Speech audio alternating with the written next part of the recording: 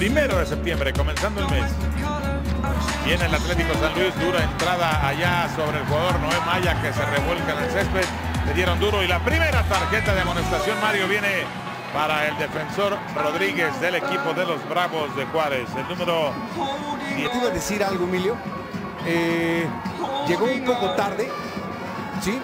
que rebota en la defensiva de los Bravos. Luego hay una falta fuerte sobre Lucas Silva. Ya la señala el árbitro del partido, Aldo Cano Martínez. Tocaron fuerte ahí en la disputa esa pelota y hay una roja, Mario. Me parece que es para Lucas Silva. No sé si metió el codo ahí. Tenemos. Ahí está el codo es sobre el rostro del defensor del Atlético. Emilio, discúlpame. ¿No te parece? No, para nada. Emilio, cuando tú saltas, Ajá. siempre tienes que saltar con los dos brazos abiertos. Sí, pero Emilio. no con el codo en la cara del Pero- rival, ¿no? pero- correcto, es el número 20, defensa central, por izquierda. Eh, una falta aquí fuerte también en las afueras del área. Ya la marcó el árbitro del partido. Le dieron a Carrico. A Leandro Carrico. Y hay amarilla ahí para el defensor del equipo. A ver, ahí está la jugada. Sí, ¿verdad? Le dan el atrás. No, olvidar, Sí, llegue. le da fuerte. Este es Giovanni León el que lo termina derribando. Este es ahí Brambila. El zurdo de Sánchez, pero Brambila se anima. ¡Balazo dentro! ¡Gol!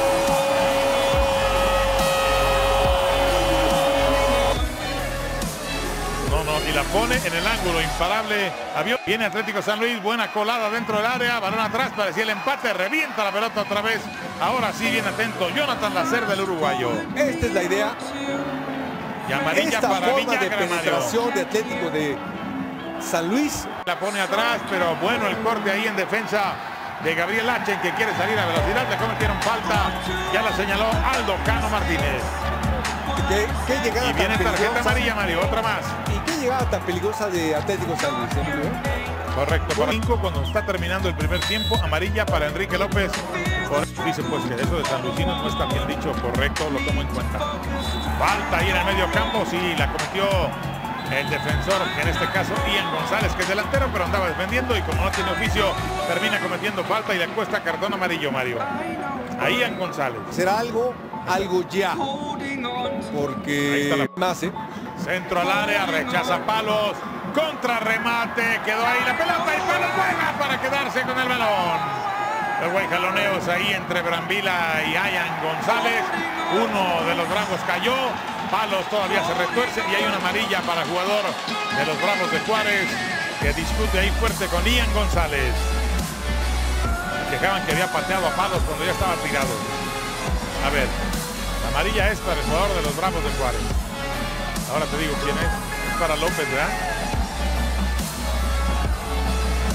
Luis López, correcto, el que lleva la tarjeta amarilla.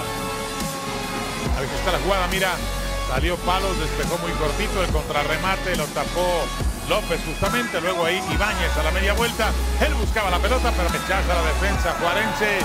Y aquí tiene la pelota por la banda izquierda, quiere salir, falta de Catalán. La señaló ya Aldo Cano Martínez, no fue Catalán. El hombre que cometió la falta fue Jorge Sánchez.